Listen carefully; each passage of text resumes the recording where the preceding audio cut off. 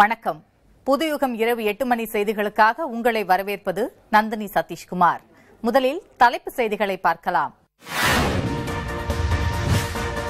வளிமண்டல மேலடுக்கு சுழற்சி காரணமாக தமிழகத்தின் பல்வேறு பகுதிகளில் பரவலாக மழை. சென்னை தலைமைச் செயலகத்தில் மழைநீர் புகுந்தது.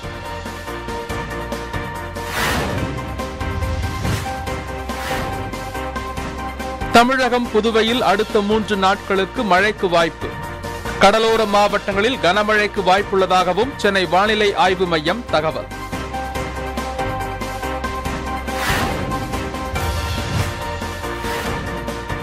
தமிழகத்தைச் சேர்ந்த எழுத்தாளர் அம்பைக்கு இரண்டாயிரத்து இருபத்தி ஓராம் ஆண்டுக்கான சாகித்ய அகாடமி விருது. பால சாகித்ய புரஸ்கர் விருது எழுத்தாளர் முருகேசுக்கு அறிவிப்பு.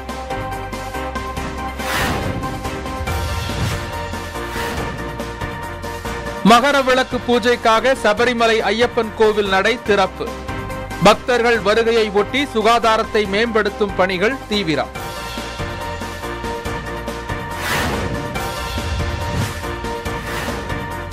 சென்னையில் கொரோனா கட்டுப்பாடுகளை அதிகரிக்க அறிவுறுத்தல்.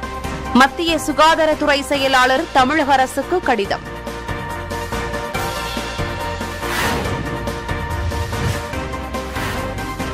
கொரோனா தொற்று அதிகரித்து வருவதை தொடர்ந்து கட்டுப்பாடுகள் விதிப்பது குறித்து ஆலோசனை. புத்தாண்டு அன்று விதி மீறுவோர் மீது நடவடிக்கை எடுக்கப்படும் என சென்னை மாநகராட்சி ஆணையர் எச்சரிக்கை.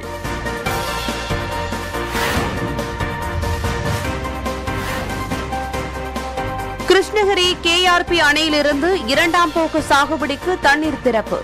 பாசன வசதி பெறும் என விவசாயிகள் மகிழ்ச்சி.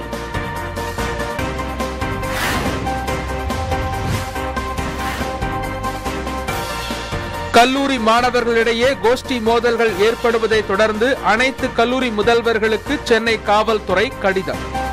மாணவர்களுக்கு கவுன்சிலிங் அளிக்கவும் கண்காணிக்கவும் உயர்கல்வித்துறை செயலாளர் அறிவுறுத்தல்.